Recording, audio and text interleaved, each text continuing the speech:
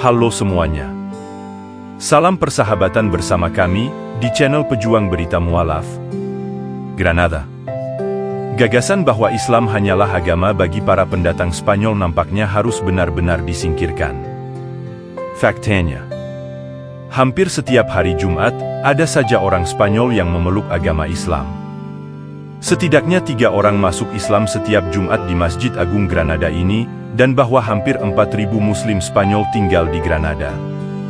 Kata Kepala Asosiasi Masyarakat Islam Spanyol Umar Del Pozo, dilansir dari Anadolu Agency, Sabtu, 1 April 2023. Del Pozo menyatakan dia sendiri adalah anak dari keluarga Spanyol yang memilih masuk Islam. Pengakuan yang sama juga diutarakan Muhammad Jauiriddin, seorang Spanyol, yang masuk Islam. Jauiriddin mengatakan, hatinya telah terketuk memeluk Islam sejak 30 tahun lalu. Saat ini ada informasi yang salah tentang Islam. Anda selalu menjumpai kampanye anti-Islam di surat kabar, televisi, semua jenis media. Ini sangat tragis karena banyak ketidaktahuan tentang Islam, kata Jauiriddin. Warga Spanyol lainnya, Rosario Esteba, yang lahir dan besar di Barcelona memeluk Islam sejak 20 tahun lalu. Dia kemudian mengubah namanya menjadi Saliha. Saliha mengatakan sangat sulit mematahkan beberapa prasangka tentang Islam dan pendekatan pers merupakan faktor penting dalam hal ini. Saliha juga mengungkapkan, setelah kediktatoran Francoist berakhir pada 1975, ada kecemasan yang besar di kalangan kaum muda. Saya menemukan Islam dalam pencarian ini. Percaya pada satu Tuhan, Allah Subhanahu wa Ta'ala, semua ini telah membawa saya lebih dekat dengan agama Islam. Teman-teman saya sangat terkejut dengan ini, dan ada yang tidak memahami saya, katanya, seperti dikutip dari Republika. Sekitar 4,1 juta muslim tinggal di Spanyol.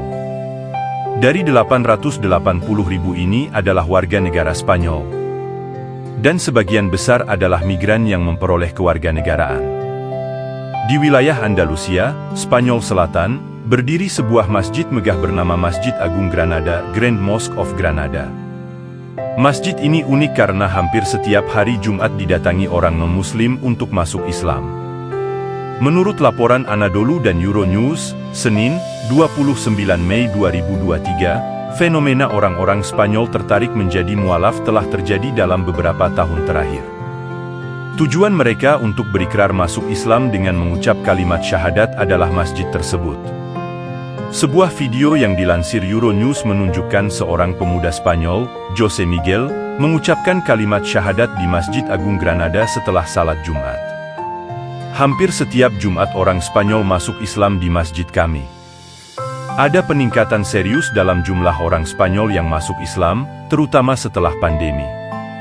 Ini adalah situasi yang membuat kami senang dan bangga, kata Presiden Asosiasi Masyarakat Islam Spanyol dan Yayasan Masjid Agung Granada Umar del Pozo.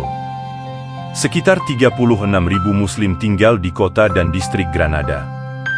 Sekitar 3.700 dari mereka adalah orang Spanyol yang masuk Islam dan anak generasi ketiga mereka, ulanjut del Pozo. Sekretaris Komisi Islam Spanyol Mohamed Ajana mengatakan, kepada Anadolu bahwa populasi muslim yang tinggal di Spanyol telah meningkat 10 kali lipat dalam 30 tahun terakhir, melebihi 4,5 juta. Menurutnya, angka itu adalah catatan resmi, dan menurut angka tidak resmi, ada sekitar 4 juta muslim tinggal di Spanyol. Di Spanyol, terdapat komunitas muslim asal Maroko, Pakistan, Bangladesh, Senegal, dan Aljazair yang tinggal di kawasan industri seperti Catalonia, Valencia, Andalusia, dan Madrid. Demikian berita mualaf hari ini, semoga bermanfaat, terima kasih sudah menonton video ini sampai habis, sampai jumpa di video berikutnya.